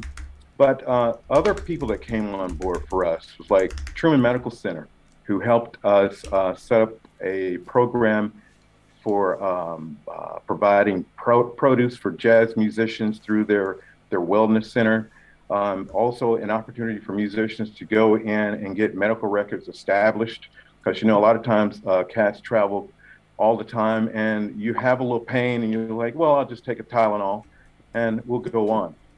And, it, and a lot of times they just don't check in until you're about to check out and then uh, you have no. So Truman Medical Center helped out a, a great deal. The lo local radio stations really kicked in and and helped to really um, get this music out that these guys were creating over this time. We also did a Charlie Parker. Um, I don't want to say a contest, but it was like a composers forum where we picked um, um three top uh, winners of that particular contest, and that tend to, that tend to uh, get a lot of creative juices flowing. And uh, I just, you know, I just really can't. And another person I can't go on without um, mentioning as well is Bobby Watson, who was a hero uh, for us and helping to um, uh, keep people motivated. Um, his students that he taught uh, who are out on the scene right now, they were very motivating and another young guy, Logan Richardson, who is originally from Kansas City, who uh, called up and said, Hey, man, we're doing something really cool. You should look into this as well. And it was uh, a program that they were calling um, Culture Folk. and they had started streaming musicians um, all over uh, the world through that program, and it was it had a paywall as well. So some of these guys are really figuring out how to maneuver and manipulate these uh, different social media pages or create their own sites to uh, monetize uh, these uh, programs as well. And I think that's real promising because, as I've heard other people mention, that you've got to find a way to sustain yourself uh, by doing this. It, you'd like to do it and, and give it to people, they receive it, and you see the reactions of, of people, but there's a value that has to be placed on this. And uh, I think jazz is probably one of the few art forms that when you're having a conversation about it, uh, it's sort of like, uh, I don't know, wow, that's fun. you're a jazz musician. Uh, it's, it's, we're seeing, like you've heard what a lot of people say, the, the first to be fired and the last to be called. Uh, and when you're talking to an electrician or a plumber, they have their fees that are set. Yeah. And uh, if you want your, uh, uh, your your your water to be fixed, that plumber comes in, he make he charges you, and you figure out how much you need to pay for it. That's I'm not saying that the arts should be that strict about it, but I think a lot of times we have to look at how we market uh, our our our our, uh, our content, our ourselves, and and make sure that you're saying the right things, and and uh, you're placing yourselves in the right uh, positions so that people understand that they're not paying to see you. They're actually uh, actually uh, supporting an experience. And um, I could go on and on and on, but um, um, I can't let you. I can't let you. Yeah. but thank you. I, I no, you, all the points you're making are good. I'm going to talk to Rob Dixon. We're going to talk to Herb Scott, and then I'm going to ask um, my friends uh, John Szwed and uh, Michael Jackson to uh, say something brilliant about what they've heard all afternoon. Um, MJ? We haven't heard from MJ. Oh, I'm sorry, MJ. You're on this. Yes, I'm sorry. My uh, fault. So um, let's hear about Montana first, and then Rob get to you. Okay? Sorry. MJ, you know nobody thinks there's jazz in Montana. I mean, I had this discussion with uh, Jack uh, Walrath, I think, a few years ago tell tell me how have you guys? You have a strong group, but it seems like a small chord. Is that true?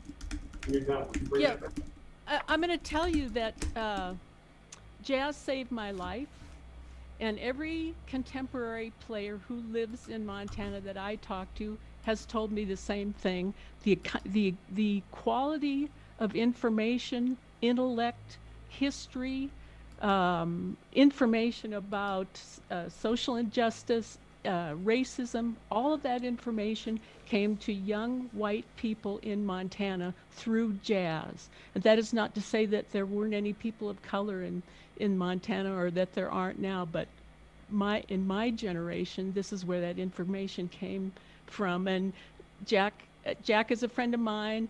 Uh, so many players uh, were touched by jazz through the airwaves. Uh, it's hard to describe. When I was growing up, there were less than a million people in the whole of Montana. Montana is a huge state and it has its own uh, history of racism. And people take in this information and use it creatively. I have, uh, I just finished, I just had a conversation with a friend of mine who lives um, in Browning uh, on the Blackfeet Nation. And we had a conversation about her cousin, who I met many years ago, who was an avid jazz fan. Her, her uh, was her brother did some arranging for Jimmy Rowles in L.A. and she, she was Blackfeet. She came, sought us out. We played together. We worked together. Uh, there's a there's a ton of these stories that are tentacles to intelligence and and the stories of people who were so uh, I'm sorry this is emotional for me because understandable.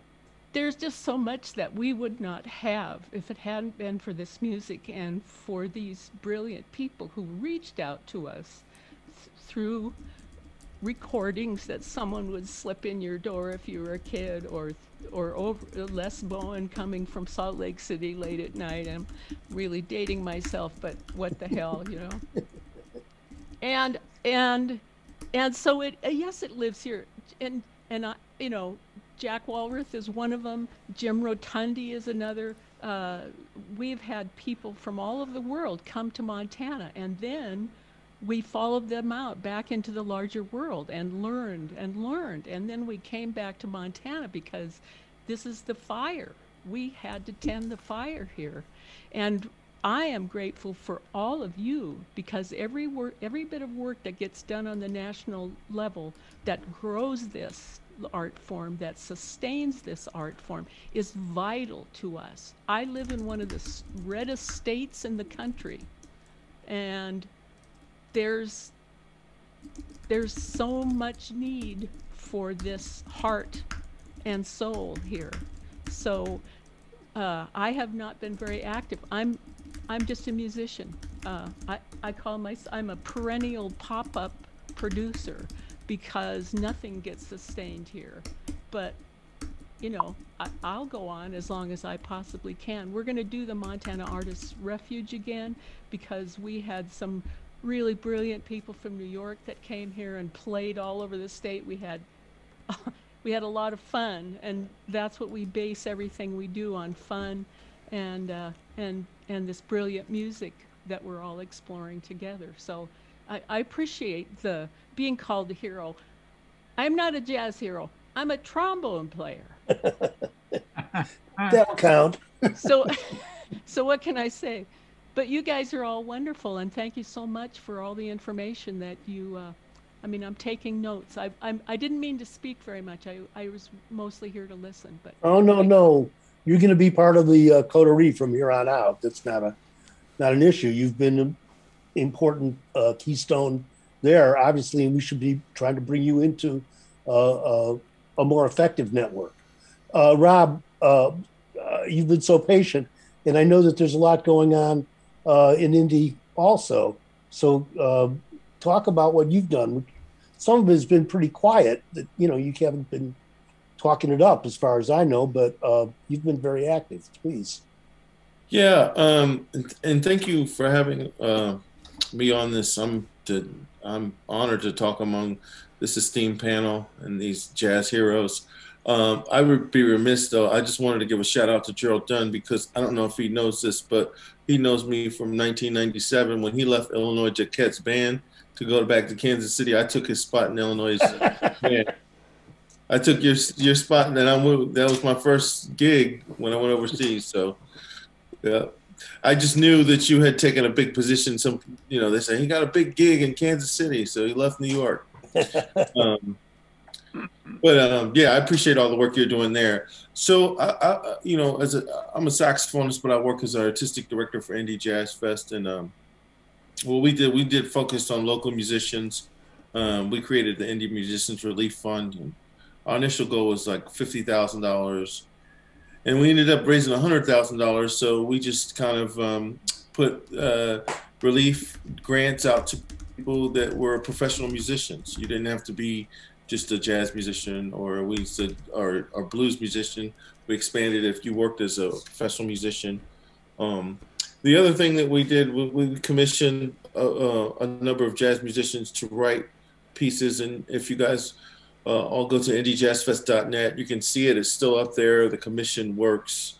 Um, we learned about you know virtual programming, so that is something that we're going to use and uh, from here on out. Um, it serves well to archive the jazz performances as as, well as it kind of can protect people in this this in COVID environment. Um, but um, I'm just gonna leave it there because I know there's people that want to talk, and I'm I'm I'm gonna hop back on, but I'm gonna hop off because I actually am headed to a gig. I'm going to Cincinnati, Cafe Vivace. I'll be there at seven o'clock tonight. So if you guys want to live stream, it's on Facebook uh, you can see me there. Um, I'm gonna hop back on in a second, but I'm just gonna pass it over to, back to you, Howard. And thank you again. Thank you, and uh, right. thanks, Rob. All right. Uh, Herb, you're gonna get the last word here, except for the journalists and whatever they have to say.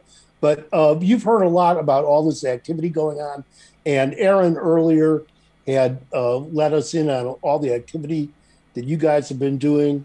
Um, I, I guess I want to come to the idea that he brought up earlier and that also Mario mentioned about um, public funding and uh, uh, legislation of some sort that really could um, establish uh, or help establish working um, payment, uh, you know, uh, viable compensation for musicians and artists.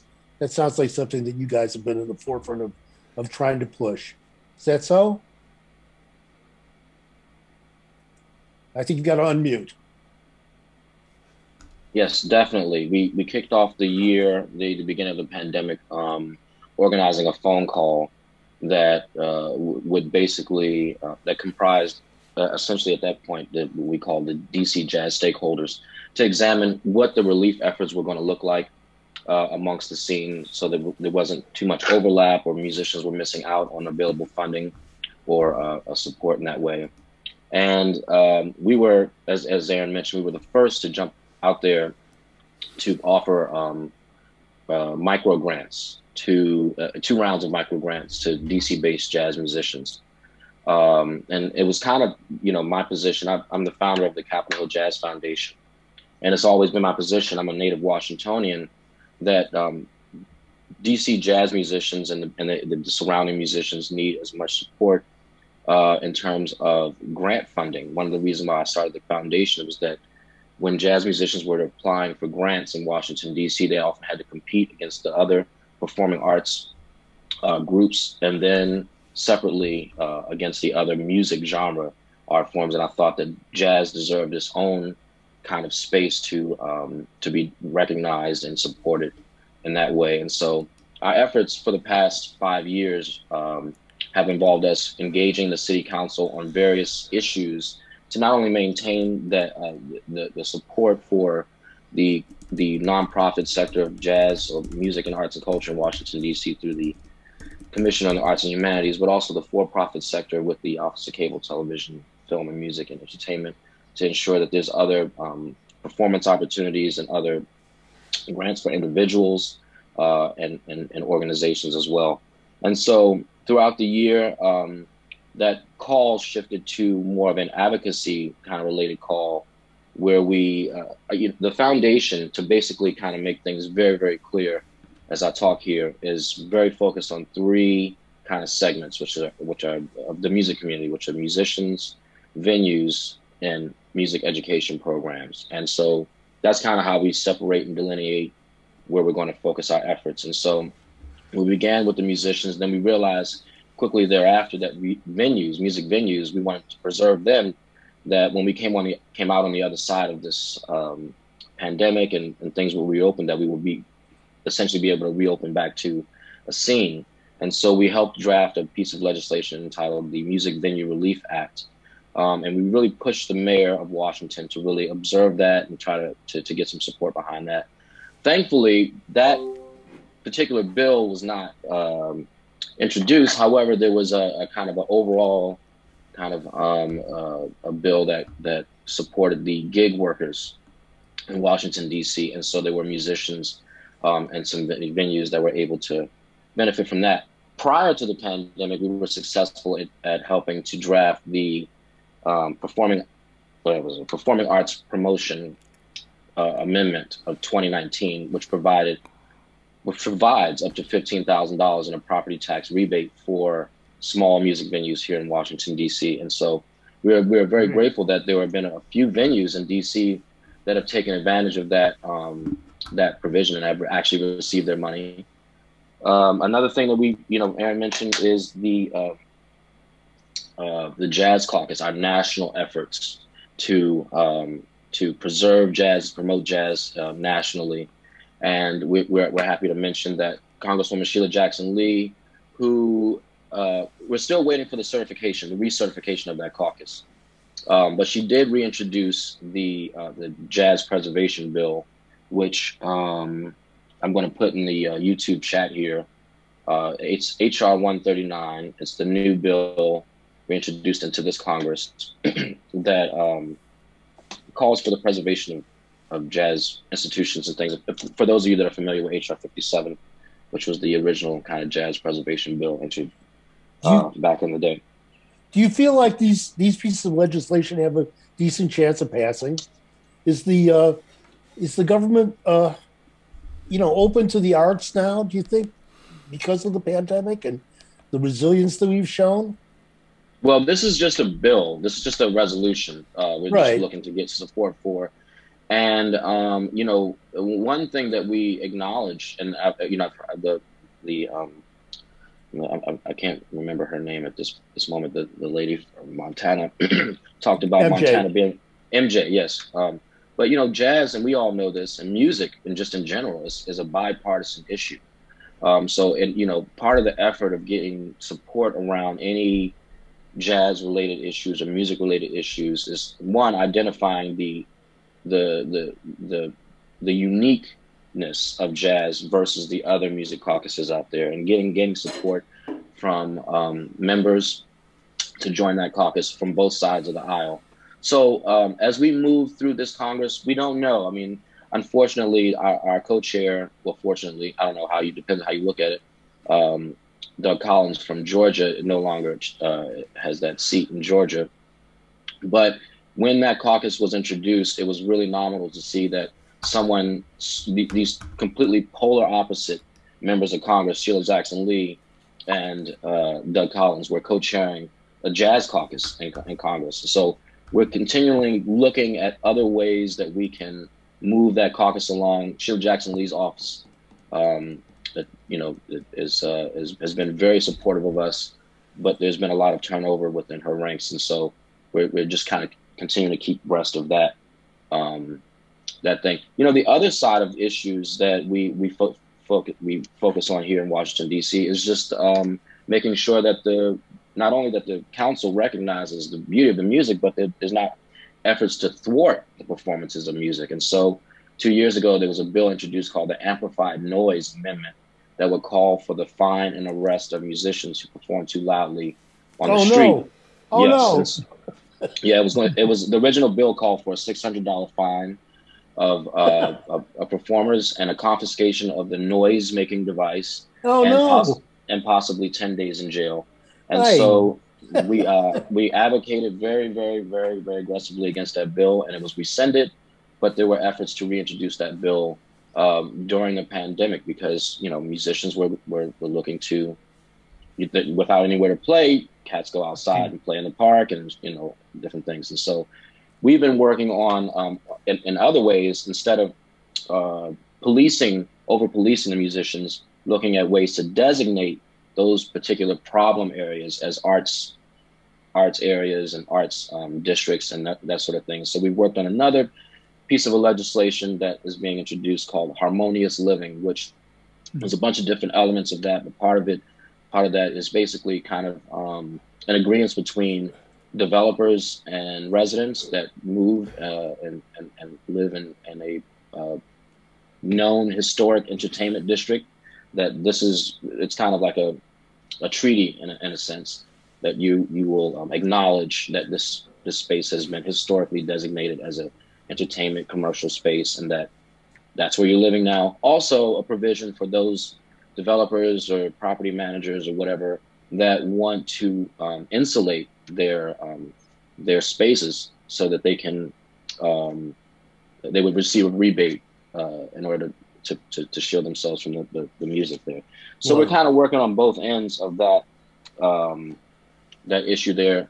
The other thing that I've been trying to, to, to inspire, uh, I mean, well, and the, the other element that we've been kind of rallying musicians around is that, um, you know, once the election happened, we had a save the, uh, was hashtag save DC music venues uh, effort where we had a citywide concert. We, we, had, we looked for as many different groups, individuals, bands to perform at different spots all throughout Washington, D.C. to, to send a message to the mayor that we need support to save our DC music venues. And then on the election day, we had our musicians perform at polling stations to remind voters that they should keep in mind uh, to vote for candidates that support the arts, jazz, and, and culture. Um, and that was our kind of swing the vote campaign. And we did that we had a performance at the Supreme Court as well. So we've done a lot of nominal things, a lot of kind of uh, uh, uh, you know, in addition to the relief and, and the and the bills, we've done things to kind of rally the musicians to kind of keep the spirit up. Um, we're currently celebrating a Jazz Appreciation Month with a bunch of daily things, and um, and I personally want to say I, am really uh, uh, grateful and honored to be uh, included upon with this this stellar group of people. I didn't even know I was nominated, so it was the whole thing's a shock to me. I'm you know, but thank you so much for having me. Thank you. Thanks, Herb. You. All right. Well, uh, this has been an incredible uh, group of people talking about some great stuff. But let me ask my friend John Szwed. John, are you there? John, unmute yourself. There we go. And all right. Oh, have, could you have any takeaways from the discussions you've been listening to? It's, it's the most encouraging news I heard. By the way, I'm sorry I'm late. I got a good excuse. I caught the drift of it. I mean, um, I forget, I forget how far this music reaches. Um, you know, I, I, was born in a town that had, I think, uh, 1,900 people in it. At least three people in that town became uh, famous musicians, and against all odds. I remember one of them asked, um, "How did you find this music?" Went on the radio. He said they were in a um, drugstore they saw these records for sale. That was the days when things could happen. They said they were all white with black print on them, and it said, "You never heard such sounds in your life." And they bought them. I said, "Whoa, you bought ESP records?" So they thought it was extrasensory perception, you know. And anyway, they became serious people, totally in isolation. So to hear people this active in so many ways, I mean, it's incredible. I mean, I, I try to stay active. Um, um, myself. I mean, I've done five five Zoom things about Billie Holiday, who's you may know is now a jazz hero in herself. And, uh, I turned down two because it was getting too dense. See, I did three programs with um, Town Hall. It's been shut down in New York because they have all this history of all kinds of people playing there, and they've been bringing it back to people on, on online, saying, "Look, this is what we had. We want to bring back." Um, what else? Oh, I'm doing one about Sun Ra through Paris, of all place, where suddenly Paris is just woke up about Sun Ra a little late, I guess. And um, there are people coming in from the seven countries to do that sort of thing. So that's my, my part of this. Um, you know, our esteemed uh, Philadelphia hero, Mr. Tacuma, knows the scene here better than I do, because I haven't been here that long. But I do remember this, though. An old friend of mine, Byard Lancaster, was missed for many years. He was arrested for playing his piccolo too loud near a subway. I mean, yep, that's right. Yep. if I, I wasn't here at the time, we all wrote yep. letters. If I remember, I may have this wrong, but is it true that the, the cop who arrested him got arrested for not showing up? I, I, don't remember. I don't remember that, but he Byard himself. He was, you know, always playing outside. You know, right. him and Odean Pope both they were you know known for doing that. You know, so all the problems that I'm sure that he had was justified. Piccolo, you know. I know, I know. Thank you, John Szwed, uh, biographer of uh, Billie Holiday, of Alan Lomax, of Sun Ra, Miles Davis uh, in Philadelphia, and wrote the little uh, bio up of Jamaaladeen uh, Tacuma for the Philadelphia Jazz Hero. Okay, Michael Jackson. Michael Jackson, turn on, unmute yourself and say something. I know you're uh, never at a loss for words, so I want to hear what you think of this conversation you've been listening to all afternoon. Can you hear me? Certainly can. Oh, all right. Well, it's it's absolutely wonderful to see all these faces. May I mention uh, it's great to see so many faces of colour. Since uh, you guys, you know, invented the bloody stuff, and um, the thing is also, uh, Demetra Taylor, blues musician from Chicago, mentioned a festival at the uh, the, uh, the, the, the Logan Center a few years ago that you know a lot of black musicians weren't involved in the blues because they'd moved on, and that black musicians have a tendency to create new forms and then we kind of reject the old ones or move on. So for me personally, it's great to see so many black faces involved structurally uh, as game changers and helpers within the music that you know you created really so that's that's that's something i want to bring up if i'm if i'm permitted to. Um, yeah it's just wonderful. Um, a lot quite a few of you i don't know.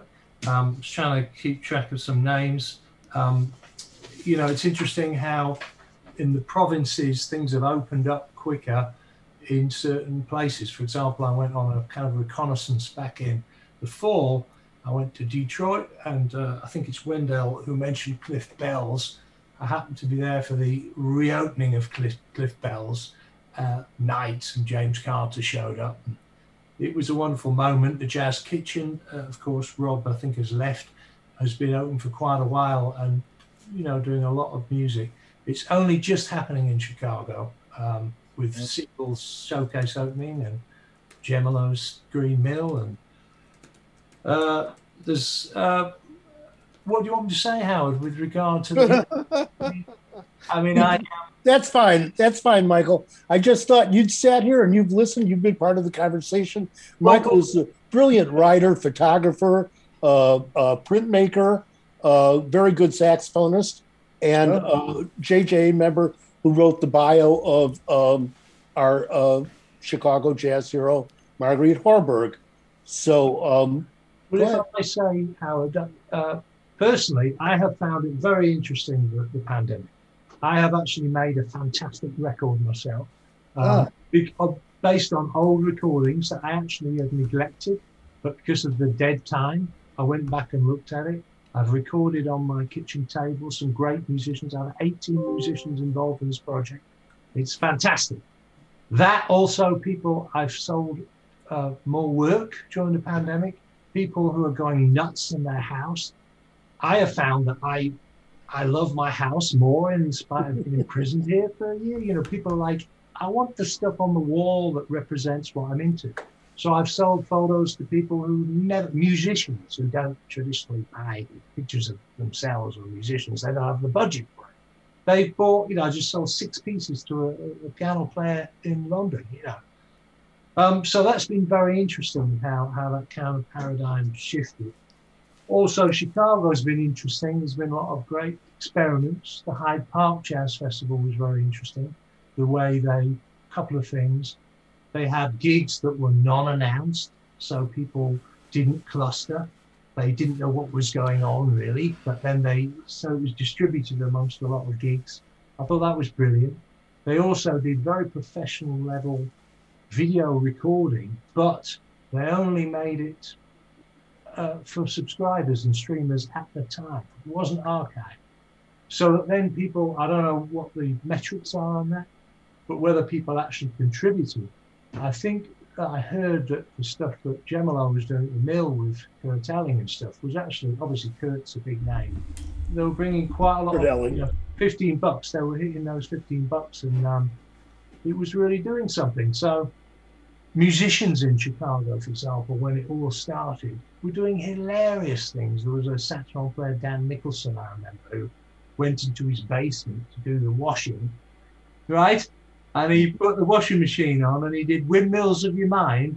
And he, he, he had all like 15 versions of himself and an arrangement. It was, just, it was genius. but, you know, you guys, um, you know, you, you guys are, are incredible. I mean, Marguerite obviously is an old friend of mine. She's been doing stuff for so many years. And what I love about Marguerite, and I've only just learned that she traveled the world. She went on a in a, a car from Iran to Paris or something. Yeah, Michael, Michael, Michael. But, uh, that's relevant. You're never you're never at a loss for words. But we are at the two hour mark, and I think that this has been a great conversation. I really appreciate everybody staying staying in it and and listening and like contributing to uh, uh, partake of how we are a community in this sense. So thanks everybody. Thanks very much to uh, Bret Primack, the jazz video guy. To, Thank you, uh, MJ Thank Williams, you Gregory you. Bell, uh, Jose Masso, uh, Louise Richards, Nancy Ochsenschlager, uh, Wendell Harrison, Jamaaladeen Tacuma, uh, Gerald Dunn, John Szwed, Henry Wong, Greer Smith, Sue Ross, Susan Brink, Mariano Guarneri, uh, uh, Herb Scott, Norman Vickers, Phil Bither, Aaron Myers, um, uh, uh, Gail Boyd. Uh, I don't think I probably missed somebody, but you get the impression. I'm grateful to all of you for being a part of these community of jazz heroes and of, of people who are really helping to keep this music going. So thanks very much. On behalf of the Jazz Journalists Association, I'm Howard Mandel, uh, Susan Brink, our associate producer on The Heroes. Thanks, Bret Primack. And uh, let's keep making music and, and listening to it, okay? That's the Right. plan. Yeah. Thanks, everybody. Right. Thank you. Thank you. Thank you. Pleasure. Bye. Take care. All right.